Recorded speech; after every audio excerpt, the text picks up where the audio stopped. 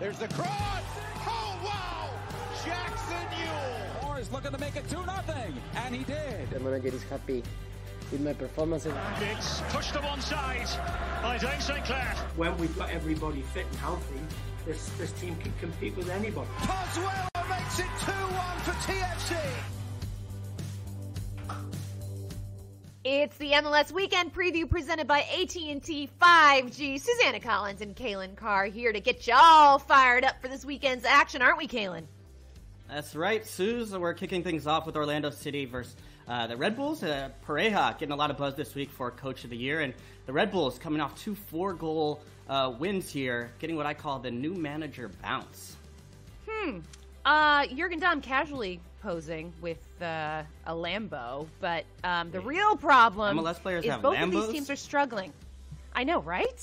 Right? What is Yeah. going on? That's that's a trip.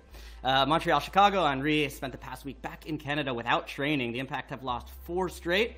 On the other side, Berić has scored in four straight games, one shy of a club record. And Calvo All just got we- a new deal. Fantastic. We've got uh, New England taking on Nashville. Jhonder Cadiz is in Music City. Um, he won't be helping them this weekend, and they need goals. Calen, Nashville's only scored two goals in seven away matches. Yeah, this is this is the one I have my eye on for the weekend, though. I think the highlight of uh, two of the better teams in the Eastern Conference. We saw what TFC did last week against Columbus, but this time having to do it against uh, the Union, who are on a roll. Houston taking on Sporting KC, the fourth meeting of the season for these two teams, and Houston has won two of the first three. My guy Johnny Russell, though, he has scored each of SKC's last four goals. Calen, Have you seen this highlight, Susannah? um, I have. Have you heard about times. it? Higuain getting another chance for redemption, this time going against New York City FC. Uh, but all the talk will again be on Higuain. All right, we've got Minnesota taking on Cincinnati. Jurgen Locadia has not scored a goal since his MLS debut back in March. Since he only two goals since MLS's back tournament ended. Minnesota also struggling too. Yeah, Columbus, though, uh, looking to get back on track. Columbus gave up three goals for the first time since last May. Um, Lucas Zelarayan also has a team high or league wide uh, three goals from outside the box. Not bad. Seattle taking on Vancouver. Uh, did you know that Seattle is the new 538 favorite to win MLS Cup? And are you surprised? No. Uh, I am surprised. and uh, also here, um, we have Chicharito. Can he get back on track? Which Earthquakes team will show up? Cali Clasico, always a wild one. Always wild, and we wrap things up for the weekend with RSL taking on LAFC, the only match on Sunday. RSL beat LAFC 3 0 three weeks ago, um, including that goal from Justin Meram. Um, that's always fun when those two teams play. All right, here's a look at the Western Conference standings. Um, we've got Seattle sitting pretty right up there on top at 24 points, but worth noting, guys, Portland Colorado match has been postponed. Um, Colorado will now have two games to make up this season. This is due to some positive COVID cases in the Colorado camp. So stay healthy, y'all. Yeah, definitely. And we'll flip it over to the Eastern Conference. Uh, Atlanta, Inter Miami, DC, all below the line. But I'm going to focus on the positive. Orlando, uh, fourth in the table right now. And there's a little bit of separation and gap between that top four. And as you look at Orlando, uh, if they get a win against New York Red Bulls and maybe get a draw from that Philly Toronto game, they might be able to leapfrog or at least get up uh, near the top um, or, or inching closer. So, Orlando, they, they've been the surprise so far, uh, building off their wonderful uh, play at MLS's back, but then continuing it uh, uh, on into the regular season. Mm-hmm. As we say in the call up, here for it. Calen Carr, welcome on into the MLS Weekend Preview presented by AT&T 5G. Susannah Collins, alongside uh, my good friend Calen Carr. Calen, last week um, I really, really waxed poetic about Columbus and how they were the most complete team, the best team in MLS right now. And then TFC came along and made a huge statement, a 3-1 win over Columbus. So um, up next, though, for Toronto, the Philadelphia Union. Now, we've talked about Columbus, we've talked about Toronto, we've talked about Philadelphia. These are three very, very strong teams in the East. If we are using Toronto as sort of uh, the measuring stick, if you will, is this a must win game for Philly to sort of prove that they are a legit contender, that they are worthy to be in that conversation of being the best in the East? Come on, Susannah. What are you saying with this question? I mean, is it a must win? This Philly team has been consistent throughout, um, already clearly in that conversation as a contender um, throughout the season. I mean, uh, I, I, think they've been, look, the, the, schedule has been good for them in some ways. They haven't had to play against a Toronto yet. I think this will be the first time they're going to match up against them.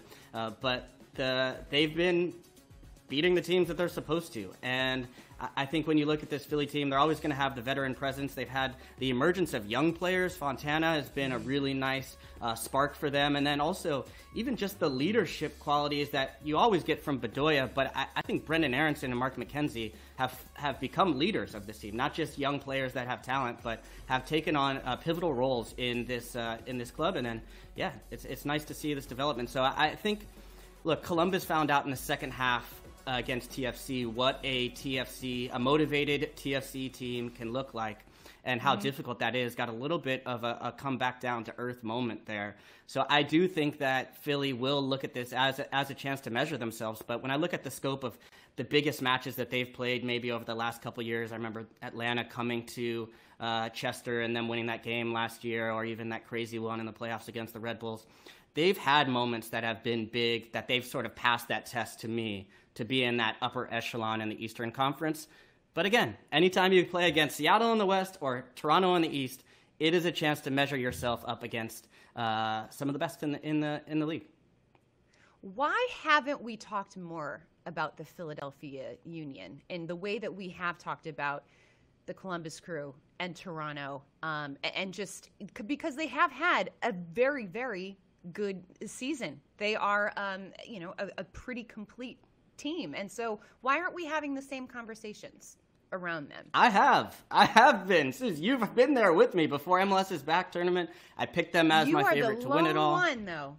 No, but I, I, actually do think that they have been getting the respect that they deserve. I, I mean, this isn't a team that has won an MLS Cup or won a, a trophy yet, and, and, they've had they've gotten close and had some chances with the Open Cup. But I, I do think maybe getting to that next hurdle of getting to an MLS Cup or, or winning mm-hmm. one would, would change the way the conversation is around this team. But um, I, I, do think they're getting the respect they that they deserve in the conversation. Jim Curtin is going to be up there. We talked about Pareja, but I think Curtin could be up there for a Coach of the sure. Year candidate. And then a lot of talk around the young players on this team and their emergence throughout. So uh, they're an exciting team to watch. Have depth, experience, and uh, and some youth. So um, Philly's been one of my favorite teams. When I when I look at the weekend preview and I look at the slate of games, Philly's almost always a, a, a game that I'm excited to tune into. Success in the playoffs, though, I think is uh, a big, big miss. Mason expressed a, a desire that, you know, if he could go somewhere and hopefully be their number one striker, he would like to take the opportunity. And Toye finishes beautifully. And judging by the assurance with which he took yep. it, there could be plenty more.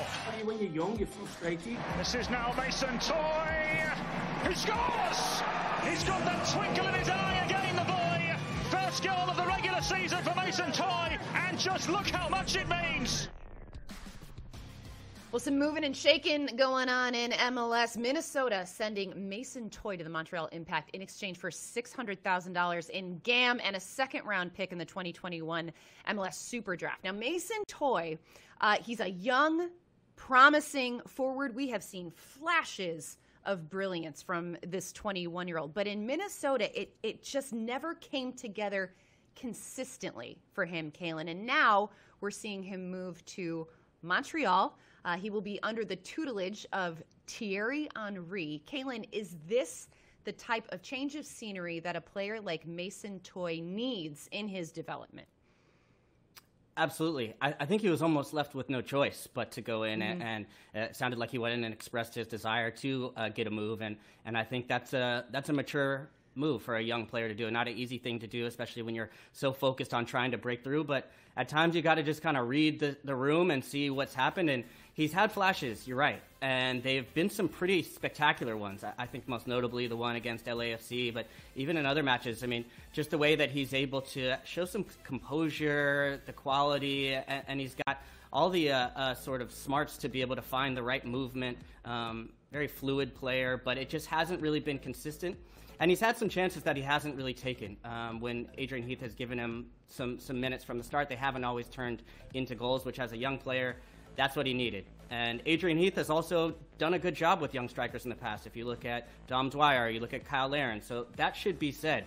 But when you look at the profile of striker that Adrian Heath continues to bring in, it's been much bigger number nines that are more traditional, mm-hmm. back to goal, hold the ball up, get in the box, and find goals. And that is not Mason's games. Mason's game is much more drifting off the back shoulder, finding runs in behind, slashing, uh, looking for space away from the two center backs. And that at times uh, is a is a different thing than maybe what Adrian Heath wanted. But guess who did that pretty darn well? Maybe the best who? ever to do that, play that style. Who? Who could Mr. it be? Thierry Henry. And mm-hmm. when you look at the way he's been playing with Quioto as the number nine, clearly not a traditional back to goal number nine, and, yeah. has allowed a lot more freedom. So I think this is really a, a dream move in a way for Mason Toye, who, who has said he's uh, admired Thierry Henry as a, as a favorite player. So to be able to work under him uh, and they came out and gave a, a good little uh, transfer fee um, to be able to get him uh, much bigger than somewhere else in the league. So for a, a striker that's searching for confidence, to have someone mm-hmm. of that sort of pedigree come and get you, I think is also going to um, help him transition and make him feel good about this move. Yeah, very excited to see what Thierry Henry will be able to do with a talent like Mason Toye because we have seen that he is capable.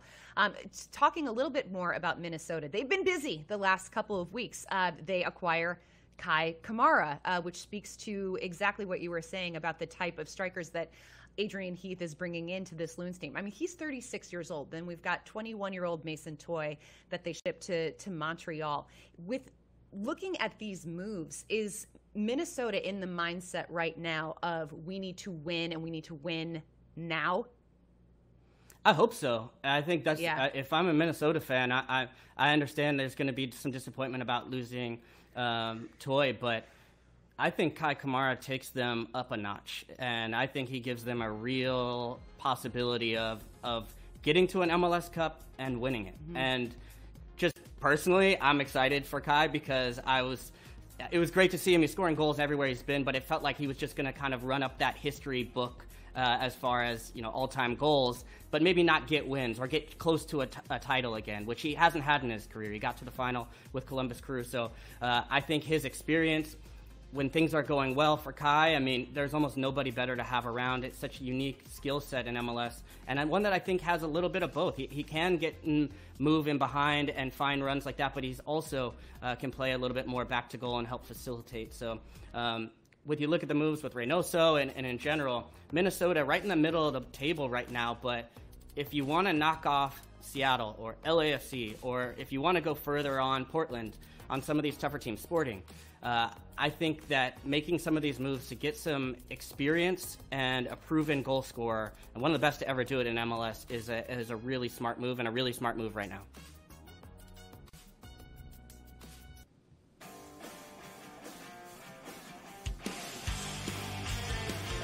Barlow settled off the chest. Tom Barlow with the finish, and we are tied.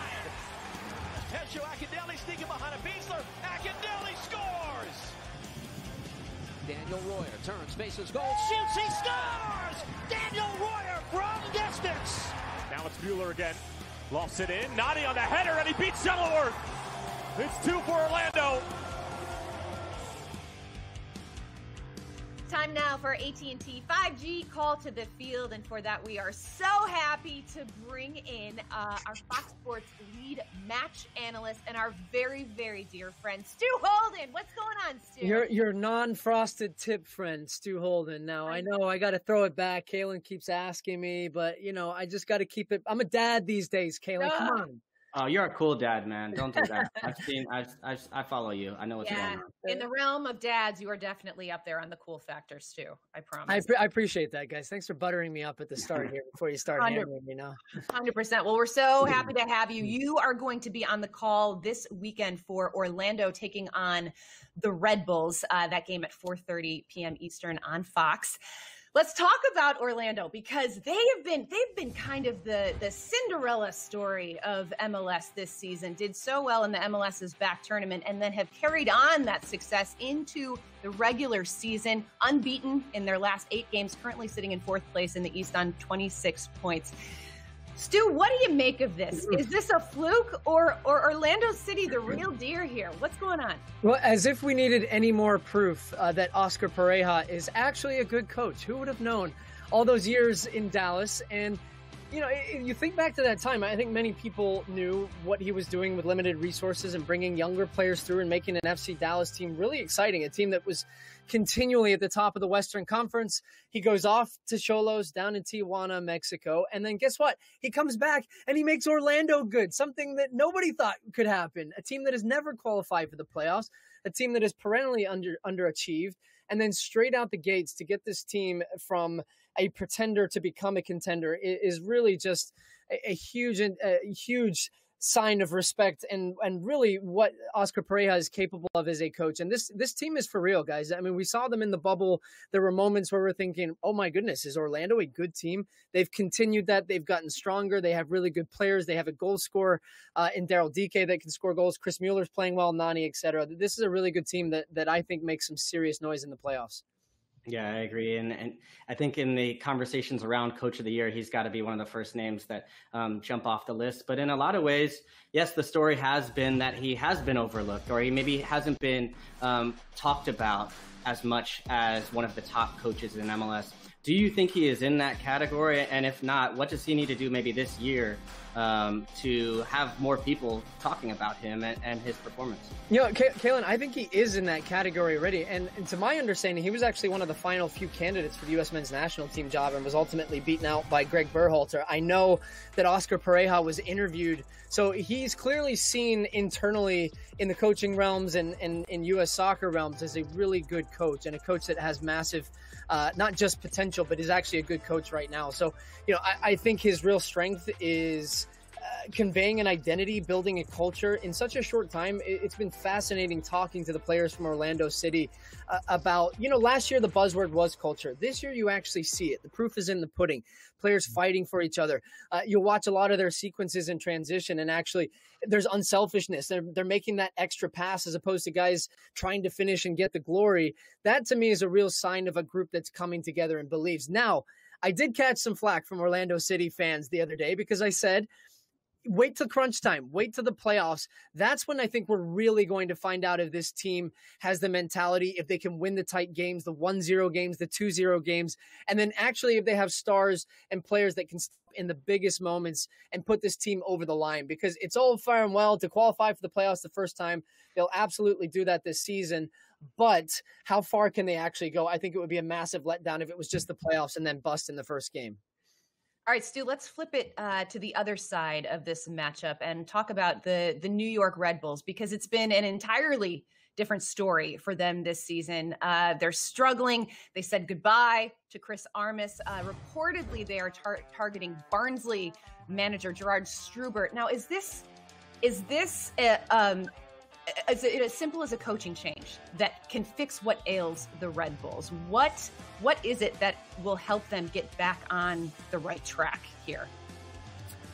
I think it's beyond just the the coach at this point. Look at what Chris Armas did with almost zero investment in that squad, and the New York Red Bulls for a number of years now have made some really poor signing. Guys that they've brought in haven't quite panned out. I remember one Josh Sims that they brought over from England. Really just haven't gone out and spent any type of money. There's been a real transition from the Red Bulls organization, from the Thierry Henrys and the Tim Cahills and the Bradley Wright Phillips, Sacha Kljestans, that era to now this we're going to develop our own talent we're going to have this identity that you know we build this farm system guys know what it means to be a red bulls player this high press but people have figured that out pretty quickly. And this is a team that went scoreless in their last four games before they had the two four goal outbursts where you're starting to see signs. I don't believe this is a long term thing. I think this is just a short term. You've got a new coach, an interim head coach. You're getting a little bit a burst of goals. I don't see a squad and a team in the Red Bulls right now that has any chance of making any type of noise in that Eastern Conference. Stu, when you look um, ahead, and one of the biggest topics right now in uh, in American soccer has been the emergence of some young stars um, and this sort of golden generation or emerging golden generation for the U.S. men's national team, or at least we hope so. Um, and also the uh, advancement of a lot of young players in Major League Soccer and interest in some of them, like Brenden Aaronson or Mark McKenzie and others. Um, when you look at this year specifically, it's been a strange one, and with the absence of fans do you think in some ways that maybe that's provided a little bit of a, of a different platform for these players to really integrate into big clubs around the world or even uh, throughout um, the teams that they're already on um, to, to find some confidence and then help with that transition to um, becoming stars themselves? Yeah, it's a fascinating conversation, I find, because you talk about this really unique period in just soccer, uh, global soccer, American soccer, where you have this combination of no fans, uh, five substitutions being implemented by FIFA, uh, li- thin, limited roster space, a lot of games jammed into a tight period. And really, you've found coaches that really have no choice but to play some of these young players because guys are logging heavy minutes. Uh, you're picking up injuries along the way. You can only call up a certain amount of guys on your on your roster. And I, I think, Calen, when we look back at this time, you're going to see players that have emerged during this period. Look at DC United playing a lot of young players right now. The Philadelphia Union uh, is, is another one. LAFC debuted their first ever homegrown academy player. Uh, the Seattle Sounders are playing young players. Just look across the board. I think we're going to look back in three or four years and say, look at the platform that these guys were given. They were given an opportunity in a relatively low pressure environment where you step onto the field uh, there's no fans around. The early season games maybe don't quite mean as much because guess what? 10 teams from the East make the, the, the playoffs this year. And coaches are using these players and giving them chances. And, and I really think it's a unique period that we'll look back on. And I think we'll have four or five players that have come from this that we can look and point back at that they got their debut, they got their confidence, they got their footing, but more importantly, they earned their coach's trust to then be used in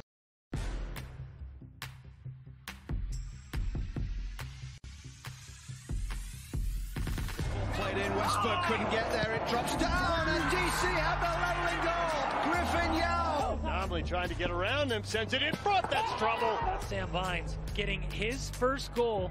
At the top, Fontana will give it a strike. Anthony Fontana has the go-ahead goal. As far as Busio has a chance again to go near post, and he's found the back of the net. Gianluca Busio has got his first goal of the year. Play yo kids, as they say, and MLS is loaded with young talent, and the annual 22 under 22 presented by Body Armor list is due out later this month. So, with that in mind, Calen, we're going to get ahead of this trend, and you are going to give us your top five 22 under 22 players. Take it away, my friend. All right, thank you, Susannah. Well, I, I, I, first of all, I agree with Stuart. I like that his point of this is a unique year for young players to get opportunities mm-hmm. um, around the world. We've seen the emergence of young American stars abroad as well as here in the U.S. And I think when I looked at creating this list, there were a lot of good names, and it's hard to do. But I remember when we started this, uh, when I was at MLS like four years ago, it was a 24 under 24. Now yeah. it's a 22 under 22. I think pretty soon it'll probably be a 20 under 20 um, oh, and man. be mostly teenagers. And, and I think I only have one player on my top five who is above the age of 20 right now. So it just goes to show how much younger uh, players are getting and the opportunities that they're getting at a young age, which has been fantastic. But I'm going to start my list off. Are you ready? I'm ready. Let's do it. All right, let's go for it. All right, number five, I'm going with Cristian Cásseres Jr. And I actually considered putting him higher. That's how much I think of him. It hasn't been the best year uh, for Red Bull New York, but uh, this this young player has been really strong. And when you're playing for the Venezuelan national team, um, that says something to me. And there's not many players when you look at the available list that are getting international minutes um, and playing well. And I, I just think the thing that stands out to me about his game is his maturity his poise. He he has uh, you know all of the qualities where he can kind of go box to box. He's got the bite. He can chip in with some goals here and there. Um, the Red Bulls signed him to a contract this year, but I think that was really more with the idea that within a year or so, I, I think a team from Europe will come with seven figures um, coming after him. Uh, number four, I go with Brian Rodriguez. Uh, I, I, talked about the importance of um, or, or the recognition of players that are playing internationally. Well, this guy doesn't just play internationally; he plays internationally for Uruguay and it hasn't been up to the expectations for himself, his club, or I think um, from the media this year of what we expected to see um, from Rodriguez. That said, two goals, six assists. So if you're going to look at a down year or a player that hasn't scored as many as he knows he can, uh, that's a pretty good uh, uh, stat line for somebody that has not lived up to expectations and has almost been disappointing. But that just shows you how high the ceiling is for Brian Rodriguez. Uh, number three is a player kind of on the opposite side that has lived up to expectations and then some. Mark McKenzie, the U.S. Uh, international as well. And look, I, I think he's taken a big step forward this year as far as we, we know some of the qualities. He always seems to find the right place, the right time. Um, he has the ability to kind of sniff out the right chances in the box to, to stop things. But this is really the difference here. The, the ability to play balls forward, facilitate the offense, the pass before the pass, the right foot, the left foot. Uh, he has been really strong for them, as well as some leadership qualities. I think he's taken a big step forward as, as a player that I think has taken ownership of this Philly back line as far as uh, them, them being tough to beat in the back. Uh, number two is Cole Bassett, and I think this might be one that people might be a little bit surprised to see him rated so high. Uh, I think number two for me um, just shows how high I think his ceiling can be amongst this group right here. And, and, there's a lot of reasons why players are maybe not spoken about as much. I think some of it comes from maybe the Rapids not having the, as much success as we would have hoped them to have this year, um, or, or, playing in a market that, that doesn't maybe get as many national TV games. But Cole Bassett has a range of qualities that I find really interesting. Um, he's lanky. He can kind of turn and, and, move. He's good late arriving runs in the box. He's, he's good in the air. He scored some goals off, off set pieces as well, and some important ones. And then number one for me is Brenden Aaronson. Uh, I think the most interesting young player in Major League Soccer um, has showed a range of his qualities. He's excellent in tight spaces, just has a feel for the game that, that you really can't teach um, but has really changed his development in ways where he's able to find that killer pass or, or, finish himself. He's got four goals, three assists this year. We talked to him over the offseason. He said he wanted to really get on the end of things. And boy, has he done it in a big way for this team. When, when you talk about the young players or player kids, uh, I, I, feel like you've almost seen him learn and grow on the fly through his minutes, um, and is why a, a, team like Red Bull Salzburg uh, is reportedly coming in for him. So it, the top three on my list all American players. Um, and, and, I think that's new for Major League Soccer. Um, you generally mm-hmm. see Diego Rossi or some big name stars that maybe aren't right there um, right now in MLS. But uh, it's been amazing to see some of these young American players getting an opportunity and, and really running with it. So that's my list.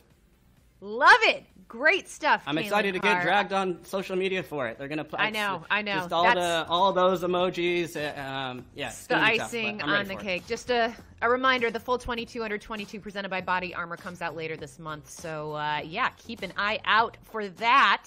And of course, Major League Soccer, the BPC, and the MLSPA have launched MLS Unites to Vote, a league wide nonpartisan initiative to help players, staff, and fans register to vote. Check out MLSsoccer.com slash vote to learn more about how the league is looking to educate our community on the voting process, drive voter registration, and more. There's a shot! Goal! San Jose! Shea Salinas off the bench. 1-1. Espinoza. There's the cross. Oh, wow! Goal! Jackson Yueill. Man, LAFC's a tough team. This is a good fight for our guys. Happy to get a win. Let's keep this rolling.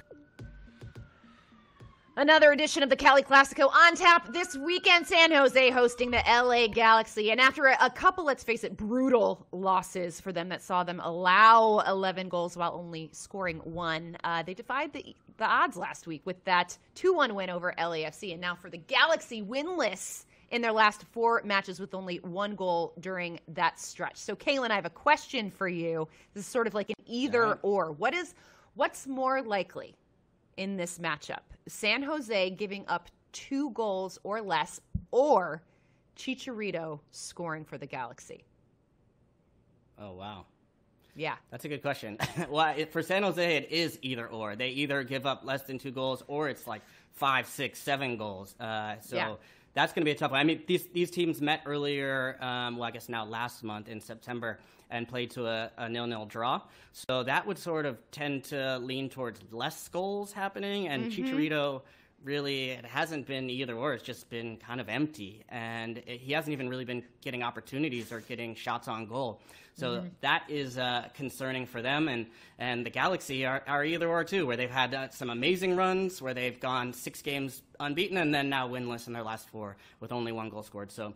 Uh, Cali Clasico already is one that you don't know what to expect because it's always madness. Yeah. But I'm gonna go with I think it's more likely that San Jose keeps it under two goals or under than Chicharito Okay. scores because I've seen San Jose do that as, as of late, and frankly, I haven't seen any goals from Chicharito. I think Chicharito's going to score. I think he's he's feeling it. I think he says he's not. He's ignoring the uh, the press and all the the negativity. But I think this guy is motivated. He also was snubbed by the Mexican national team, and so uh, there's a little extra fire in his belly. Just saying. Chicharito scores. All right, all right. All right, guys, time now for MLS Predict 6 presented by BetMGM, a weekly free to play game from Major League Soccer. Correctly predict the final outcomes of the six featured MLS matches, along with secondary predictions such as which player or team will score first or how many total goals will be scored. And you could win 50000 bucks. Head on over to MLSPredict6.com. Play for free. Calen. Ooh, kiss of death picks last week. They just continue for you. You were 0 for 2 because Nashville and Houston happened? drew, and then you you picked Jeremy Ebobisse to score first in that Portland Vancouver game, and Ebobisse Yeah. didn't even start. Me, on the other hand, one for one, one for one. Orlando Really? and o- Things are or- going good for Orlando and Dallas drew. Yeah, Orlando and, o- and Dallas drew, which was you know kind of a bummer. But I said that there were going to be four total goals between um, Seattle and the Galaxy, and that was a three-one game. And I actually remember saying that I thought that Seattle would have more of those goals, and um, yeah, I was I was pretty much right on the money there. So Wow. Did, Make of um, that what you will. ha- has the direct deposit hit yet? Have you have you gotten the cash influx? Are you taking me out? no, sadly, I am not eligible for that fifty grand. But um, you know, it's just it's just pride and bragging rights at this point. So Yeah. I'll call well, it a that's what I'm here for. Is to uh, All right. Is to uh, embarrass myself and, and uh, do the impossible, which is to get these picks right.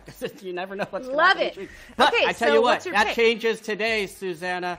That changes today. And yeah, I looked at the whole list and I was like, okay, yeah, Seattle's going up to Vancouver. That looks like the obvious one, but we've seen that on SAT questions where you make that pick and then they trick you.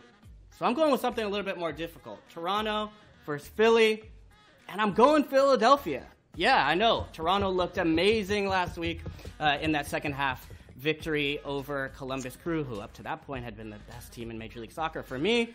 But I think it's been a difficult week for Toronto. They went back to Toronto. They haven't been able to train. Now they uh, have to go to, uh, I believe, Connecticut for this match, where Philly just keeps the ball rolling. Not the obvious pick, but I need some help right now. So I got to go add the degree of difficulty, and I'm going with Philadelphia. I respect it. I respect it. All got? right. Who you got? Uh, my pick. I am picking NYCFC over Miami. NYC coming off a 4 0 win over Cincinnati in a game where they looked really, really good. One of their more complete games of the season. They ripped Cincinnati apart. Um, which, you know, it's Cincinnati, but still, uh, great game plan. Miami coming off a 3 0 loss to Philadelphia. Higuain got his feelings hurt in that one, missed that PK. I don't know. I just, I got a hunch about NYCFC in this one. So that is my pick. I like it. I like it. All right, so we're going to secondary picks, right? Secondary Add the picks. degree of difficulty. And look, I know I said I wasn't going to pick Seattle, Vancouver, but uh, I need a little bit of help here. so I'm going for uh, Seattle to score against Vancouver in the uh, what's the second range? I believe 10 to 19. I think is the minute. Yes, Yeah. 10 to 19. Thank you. Confirmation there. Uh, I, Vancouver has given up goals early in games. I believe uh, five goals maybe in their last two games, or I don't know. They're, they're giving up a lot of early goals. Seattle's coming out flying, and I think uh, they can hold off for 10 minutes, but then I'm hoping someone scores. And also, Susannah, I just can't pick players to score opening goals because they don't always start. So I know somebody. I don't know who's going to score it for Seattle. Made that mistake last week. Ruidíaz, Rui Diaz. But I, Rui I'm, I'm going, uh, uh, yeah, 10 to 19.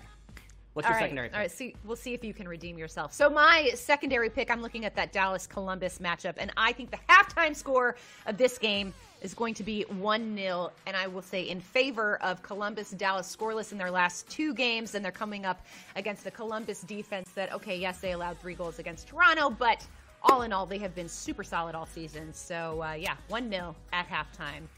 Give it to Columbus. Feel good about that one. All right, let's take a look at the weekend schedule. And uh, yeah, on uh, Saturday, we've got that Orlando matchup against the New York Red Bulls on Big Fox. That game at 4:30 p.m. Eastern. Uh, you don't want to miss that one. And Sunday, I just want to point this out, everyone. It's Calen Carr's birthday on Sunday. In addition Oh, wow. to uh, some, yes, yes, it is. Old man Carr. Wow. Should we do so a, on a Zoom a Zoom party? Uh, Perhaps. Let's keep it light. Let's Perhaps. keep it light. I'm going to be celebrating Saturday night with the Cali Clasico. Um, you know, you always got to tune in for the madness of that one, and then Sunday, which you know, I'm not sure if my birthday plans will fit into it, but Real Salt Lake plays LAFC. Uh, Salt Lake has seemed to have the uh, the better of those matchups uh, of late, and maybe historically. So, um, yeah, I might check that one out. Who knows? I think you should. I think that that is a, a fabulous way to celebrate uh, the birthday of Mr. Calen Carr. You look great, buddy. By the way, Thank haven't you. Aged a bit in the in the four years that I have known you. Finally You- got a haircut. you look great, kid. Post pandemic. Thank you. Fantastic. All right, guys. Well, uh, make sure that you wish Calen Carr a happy birthday and enjoy all of the MLS action this weekend. Have a good one, guys. We'll see you soon. Thanks for watching. Happy birthday. No, no, no, no.